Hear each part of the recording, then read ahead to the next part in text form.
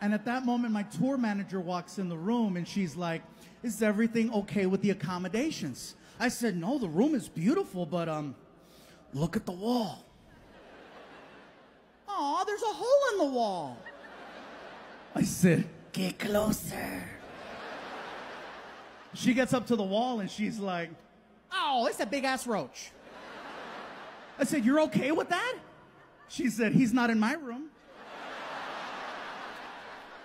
She can see that I'm visibly bothered by this roach, so she's like, Would you like me to take care of your little friend for you?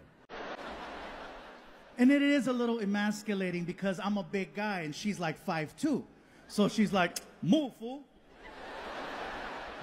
She takes off her shoes, she grabs it, she gets up on a chair, and she brings it back, and she's like, you know, soy la 69. Bam! Nail that roach. Threw down her shoe, put it on. I look at the wall, and it kept moving.